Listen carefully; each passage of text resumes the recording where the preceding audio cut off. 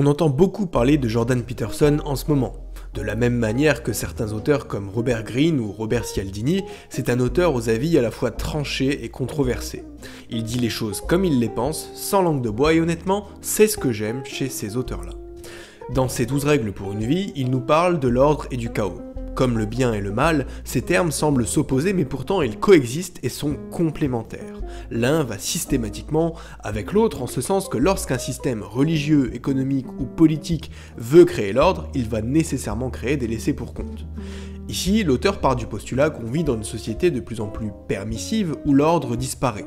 Les droits individuels passent avant toute chose, donc on a le droit de faire ou d'être presque tout ce qu'on veut sans qu'il y ait vraiment de cadre, et parfois ça devient un peu n'importe quoi. Face à tout ça, c'est facile de se sentir perdu, surtout quand on est jeune, et de choper le syndrome de l'objet brillant. Un tel est parti s'expatrier à Bali, un tel vit en trouble avec deux nanas, et un tel est devenu millionnaire grâce à OnlyFans.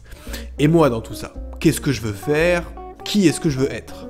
En bref, Peterson a écrit ses règles pour ceux qui voudraient outrepasser l'anarchie ambiante et mettre un peu d'ordre dans leur vie, histoire de savoir quoi en faire et de le faire correctement.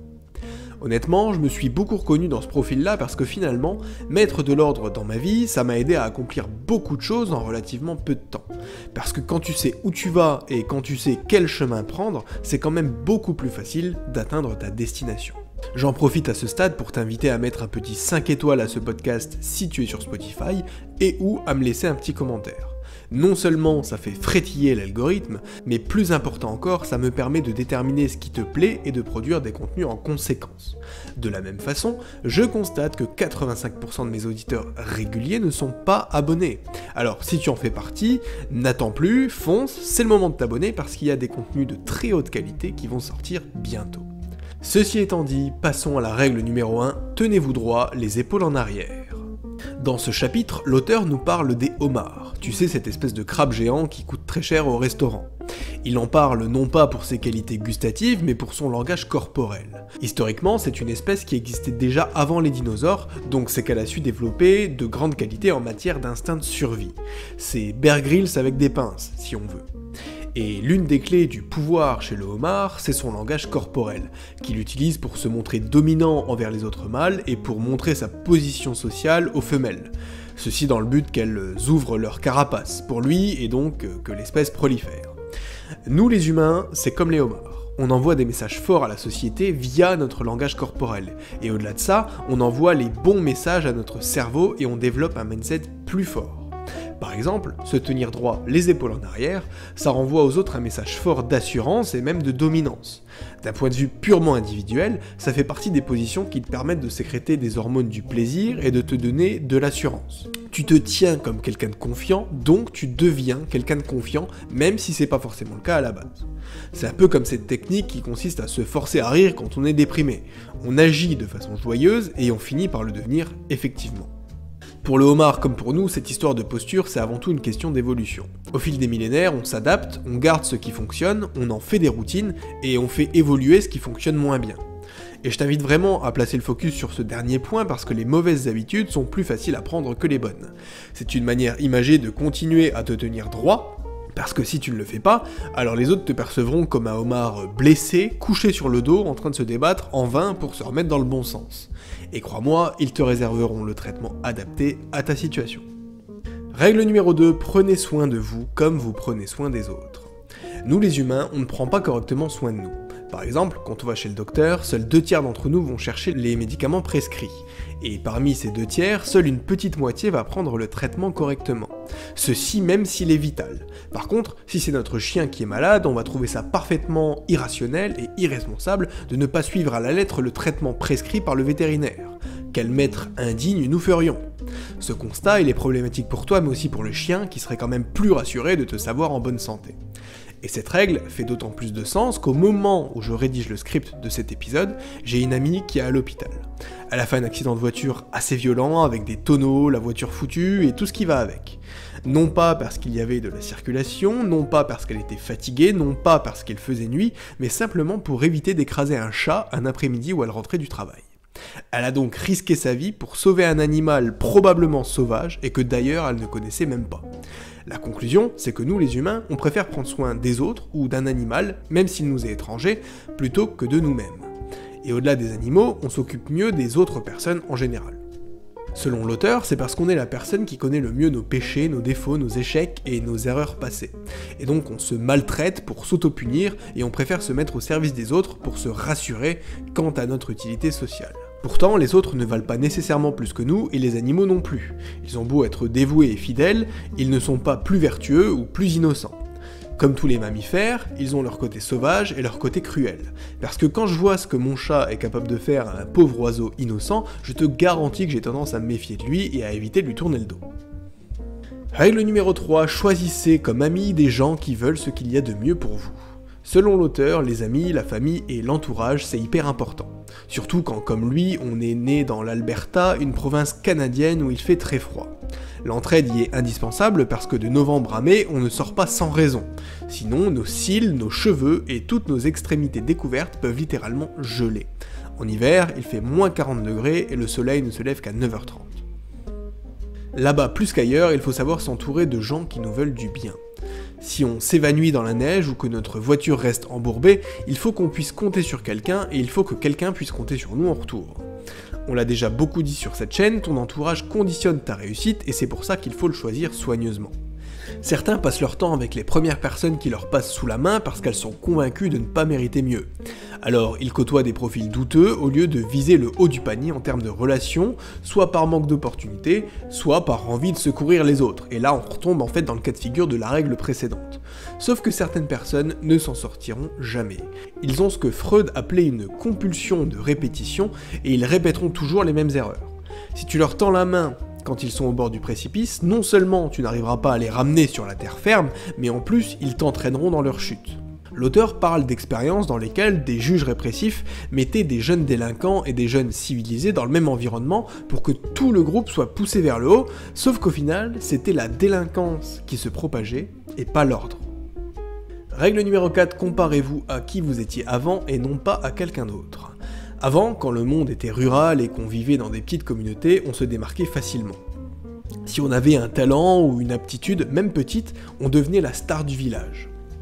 Surtout avec certaines professions comme paysan, curé ou instituteur qui étaient très respectées à l'époque. Aujourd'hui, on vit tous dans des grandes villes et des mecs doués comme nous, il y en a au moins une vingtaine dans notre secteur. Ceci, quel que soit notre domaine d'activité. Et même si c'est pas le cas, bah c'est devenu si facile de se déplacer qu'on peut aller chercher le service dans une autre ville ou même sur internet.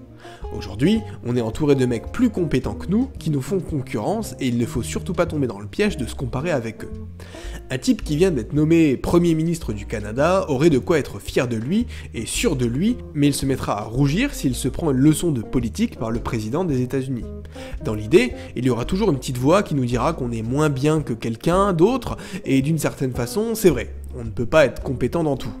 Et garde bien en tête qu'on se compare seulement à la partie des autres qu'on voit. C'est seulement la partie immergée de l'iceberg, donc déjà la comparaison est biaisée. Donc la clé, c'est tout simplement d'apprendre à se connaître, ses faiblesses comme ses forces, et de faire la compétition avec une seule personne, soi-même. Règle numéro 5, défendre à ses enfants de faire ce qui nous empêcherait de les aimer. Dans un livre qui parle d'ordre et de chaos, on comprend bien que la discipline a un grand rôle à jouer. C'est d'ailleurs quelque chose dont on fait largement la promotion sur cette chaîne. Donc dans ce chapitre, Peterson nous rappelle l'importance d'inculquer cette discipline à nos enfants pour les empêcher de faire n'importe quoi. Pour leur bien comme pour le nôtre. Aujourd'hui, les châtiments corporels sont devenus mal vus et c'est selon moi une excellente chose. Si tu as besoin de taper un enfant pour te faire respecter, alors je vais te calmer tout de suite, c'est pas du respect que tu vas lui inspirer, mais plutôt de la peur et du mépris. Ceci étant, il y a d'autres formes de punition qui peuvent et même doivent être appliquées. Sous prétexte d'éducation bienveillante, il n'est pas admissible de voir des enfants se rouler par terre et hurler dans les magasins parce qu'ils veulent un bonbon. Dans la plupart des cas, ceux qui font ça ne sont pas hyperactifs ou hypersensibles comme on nous le dit, mais plutôt hyper mal élevés. En ne voulant pas les froisser ou faire de scandale, les parents qui laissent tout faire se laissent en réalité une porte ouverte pour détester leur propre enfant ou pour avoir honte quand il s'agit de sortir avec lui dans un lieu public. Et ça ne doit tout simplement pas arriver. Donc la discipline, non seulement ça les forge, mais en plus ça va leur permettre d'avoir la tempérance nécessaire pour arpenter le monde, faire les erreurs qu'il faut, apprendre d'elles et au final avoir une vie épanouie les enfants ont toujours besoin d'un cadre et d'une autorité. C'est le seul moyen pour qu'ils puissent grandir de manière responsable et développer des compétences comme l'empathie. Ils doivent pouvoir être confrontés au non et ensuite, une fois qu'ils ont les bases, alors seulement à ce moment-là, on peut lâcher du lest et les laisser construire leur propre personnalité, envie et besoins. Ils ont bénéficié d'un environnement sécure, même si inconfortable à court terme, avec pour contrepartie une vie épanouie et confortable à long terme. Règle numéro 6, balayer devant sa porte avant de critiquer les autres. Pour le coup, c'est peut-être une phrase que tes parents t'ont répétée et si c'est le cas, ils ont eu raison. Cette règle numéro 6, c'est une invitation à la réflexion personnelle. En effet, l'auteur encourage à prendre en main sa propre vie avant de vouloir faire des commentaires sur celle des autres. Donc d'abord, on prend en compte ses propres erreurs et faiblesses, d'abord on cherche à grandir et à se tempérer soi-même, et seulement après on peut se permettre de regarder ce qui se passe à côté. Garde bien en tête que quelqu'un qui réussit n'a tout simplement pas le temps de juger euh, ce que les autres font. Il constate et interprète ce qui se passe parce que c'est un humain comme un autre, mais il n'a pas de temps à perdre à donner un avis sur ça. Il sait que les avis sont une denrée périssable et qui a peu de valeur parce qu'au fond, tout le monde en a un. Cette règle, elle incite à faire un examen de conscience et à se poser des questions sur ses propres actions et intentions avant de se questionner sur celles de son voisin. En faisant ainsi, on évite les comportements hypocrites et les jugements. Ça rejoint un peu ce qu'on avait dit dans le résumé des 4 accords Toltec avec la règle que ta parole soit impeccable. Donc on évite de dire des choses négatives, et encore moins si ça concerne les autres, parce que ça peut nous retomber dessus, déjà d'un point de vue spirituel, mais aussi d'un point de vue vie quotidienne. Parce qu'après tout, si tu passes ton temps à parler mal sur ton voisin et qu'il débarque un matin pour te mettre un kick frontal, en réalité ça n'aura rien d'étonnant. La deuxième idée derrière ça, c'est aussi que ce qu'on critique chez les autres, ça renvoie souvent à des choses qu'on se reproche à nous-mêmes. Par exemple, une personne de nature passive va détester la passivité qu'il constate chez les autres, précisément parce qu'il attendait qu'il passe à l'action à sa place. Règle numéro 7, concentrez-vous sur l'essentiel et non sur le plus opportun. Cette règle, elle encourage les lecteurs à chercher ce qui a une valeur réelle pour eux, ce qui apporte une vraie valeur ajoutée à leur vie. Donc cette règle, elle invite à se concentrer sur les choses vraiment importantes plutôt que sur les choses qui offrent une satisfaction immédiate ou qui paraissent faciles à faire.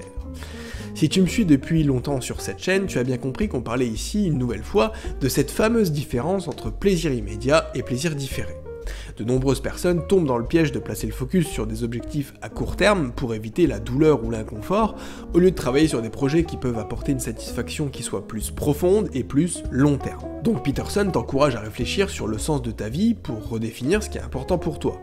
Où est-ce que tu veux aller? Combien est-ce que tu veux gagner? Qui veux-tu côtoyer? Où ta conscience te dit-elle d'aller? Beaucoup de personnes pensent qu'elles vont supprimer leur souffrance en s'affalant devant Netflix ou en se descendant un petit verre le soir. Sauf que paradoxalement, l'inconfort se chasse par toujours plus d'inconfort. Pour reprendre la citation très célèbre de Michael Hopf, les temps difficiles créent des hommes forts et les hommes forts créent des temps plus joyeux. Règle numéro 8, dites la vérité ou du moins ne mentez pas. Je suis d'accord avec le monsieur, mentir c'est mal. Je t'ai déjà dit que ça va à l'encontre de mes principes. Ce serait te mentir de dire que je ne mens jamais, mais pour autant je n'aime pas ça. Il y a des fois où on n'a pas vraiment d'autre choix. À un moment donné, pour te débarrasser de certaines situations, tu n'auras pas d'autre choix que de dire euh, non non, j'ai pas de monnaie sur moi, ou ah désolé, je vais pas avoir le temps pour ça, ou encore mais non chérie, j'adore quand ta mère vient manger à la maison, une personne délicieuse. Ça, ce sont des exceptions. Mais la règle, c'est de ne pas mentir aux autres, ni à soi-même. Il vaut mieux avoir une authenticité qui déplaît plutôt qu'une fausse image qui séduit. Il y a beaucoup de psychologues et de penseurs qui ont théorisé le sujet et qui en sont venus à la même conclusion, c'est que le mensonge corrompt la personne qu'on est à l'intérieur, ça crée une confusion entre ce qu'on est et ce qu'on prétend être, et au final ça nous rend malheureux. Après tout, comment est-ce que tu veux te fixer des objectifs d'avenir si tu vis dans le mensonge de qui tu es maintenant? Comment tu veux développer des relations saines avec les autres alors qu'au fond tu leur as menti sur qui tu étais vraiment? Règle numéro 9, partez du principe que celui que vous écoutez en sait plus que vous. L'idée de cette règle, c'est pas de s'écraser et de donner systématiquement raison aux autres. Au contraire, c'est plutôt de les écouter en partant du principe qu'ils en savent plus que nous sur le sujet qu'ils évoquent. Ceci, même si on n'est pas d'accord, parce que ça va au moins nous permettre d'être confrontés à un autre avis, de se forger une opinion propre, et pourquoi pas à ce moment-là de démonter celle de son interlocuteur. Mais d'abord on écoute et après on contre-argumente. Selon l'auteur, les extrémismes se créent quand on coupe la parole aux autres et qu'on ne les écoute pas. Aujourd'hui, la plupart des débats n'en sont pas vraiment. Chacun a sa liste d'arguments et a pour unique objectif d'en sortir le plus possible pour convaincre non pas son interlocuteur, mais un auditoire. Le but, ce n'est pas d'enrichir son esprit avec les arguments d'un autre, ce n'est pas d'avoir un débat productif, mais c'est juste une question d'ego qui consiste à dégainer ses arguments le plus rapidement possible. Règle numéro 10, soyez précis dans votre discours. L'idée de cette règle, c'est qu'il faut éviter les tournures de phrases ou les expressions vagues, parce que ça peut prêter à confusion ou mener à des malentendus, parce que ça peut créer des problèmes si on est mal compris, et aussi parce que c'est pas très charismatique. Ça donne l'impression qu'on récite un texte un peu édulcoré et un peu générique pour ne froisser personne, ou au contraire qu'on restreint notre discours pour éviter d'en dire trop. La forme, c'est bien, mais à un moment donné, il faut aussi penser au fond, c'est quand même la clé d'une communication efficace. Pour être précis dans notre discours, l'auteur recommande d'utiliser des termes clairs et spécifiques pour décrire les idées, les concepts ou les objets dont on parle. À charge pour notre auditoire de poser des questions ou demander des clarifications si nécessaire. Dit comme ça, c'est un peu vague, mais voici quelques exemples. Plutôt que de dire j'ai besoin d'aide, il est plus précis de dire j'ai besoin d'aide pour porter ces cartons lourds. Au lieu de dire il y a beaucoup de monde dans la salle, il est plus précis de dire il y a environ 50 personnes assises dans la salle, tu ferais mieux de revenir plus tard. Au lieu de dire je suis en retard, il est plus précis de dire je suis en retard de 10 minutes pour notre rendez-vous, tu as le temps de venir à pied si c'est plus facile pour toi. Au lieu de dire j'ai besoin de ce document rapidement, il est plus précis de dire j'ai besoin de ce document avant 16h aujourd'hui, est-ce que tu pourrais le déposer sur mon bureau en partant s'il te plaît? Règle numéro 11, ne dérangez pas les enfants quand ils font du skateboard. L'idée de cette règle, c'est de dire qu'il faut laisser les enfants expérimenter le monde sans qu'ils soient interrompus toutes les 5 minutes parce qu'il y a un risque qu'ils tombent, qu'ils échouent ou qu'on se moque d'eux. Tant qu'on reste dans la limite du raisonnable, c'est à eux de tester leurs limites et de développer leur capacité à se débrouiller. Parce que ça va sans dire, c'est quand même la compétence phare du self-made man du 21e siècle. Quand on sait faire les choses seul, on a plus de chances de réussir et d'être épanoui. Je veux dire, je connais des gars de 40 ans qui savent toujours pas lancer une machine à laver parce que surprotégés par leurs parents qui disaient mais non, touche pas à ça, enfin t'es un garçon. Ou alors des types qui ont peur de tout parce que leur père leur hurlait dessus dès qu'ils faisaient preuve d'initiative et qu'ils voulaient essayer un truc nouveau. À cause de l'intervention excessive de leurs parents ou d'autres proches, ils sont moins débrouillards et ont une plus grande aversion au risque et au changement c'est pas quelque chose d'irrémédiable, mais maintenant c'est quelque chose qui est ancré dans leur cerveau et donc il faudra complètement changer de mindset. Qu'ils décident de rester comme ils sont ou de changer, la vie sera plus difficile pour ces gens-là. Donc par pitié, ne dérange pas ton enfant quand il fait du skateboard. Règle numéro 12, caressez les chats que vous croisez dans la rue. Ça peut sembler une règle simple, étrange et peu hygiénique, mais laisse-moi t'en dire un peu plus sur elle. Peterson explique que les chats sont des créatures souvent mal comprises mais qui ont beaucoup à nous apprendre. Ils sont indépendants, curieux et conscients de leur environnement. En caressant un chat que tu rencontres dans la rue, tu peux apprendre à te connecter avec lui, à apprécier sa compagnie et à être plus dans l'instant présent. C'est en fait ça la vraie idée de cette règle. Caresser les chats que vous croisez dans la rue, c'est en fait une métaphore pour prendre le temps de s'arrêter et d'apprécier les petites choses de la vie. L'auteur souligne que nous avons souvent tendance à être si concentrés sur nos objectifs à long terme que nous oublions de profiter des moments simples qui se présentent à nous chaque jour. En appliquant cette règle, tu t'entraîneras à être plus conscient de ton environnement, et même si c'est une métaphore à la base, c'est vrai que certains animaux peuvent avoir un vrai effet bénéfique sur l'être humain. Je pense aux chats, aux chiens, mais aussi aux chevaux et autres nouveaux animaux de compagnie. Mais ça, c'est un tout autre sujet. Pour revenir à notre métaphore, si tu es en train de marcher dans la rue et que tu rencontres un chat, prends quelques instants pour t'arrêter et le caresser. Profites-en pour écouter les sons autour de toi, sentir l'air frais et observer le chat pour en apprendre davantage sur lui. Ça peut sembler insignifiant, mais ça peut vraiment nous aider à nous sentir plus épanouis et plus connectés à notre environnement. Voilà, merci d'avoir suivi ce résumé jusqu'au bout, j'espère qu'il t'aura plu. Si c'est le cas, un abonnement, un petit sac étoile, ça fait toujours plaisir. Je te dis à bientôt pour un nouveau résumé, c'était ebook, ciao ciao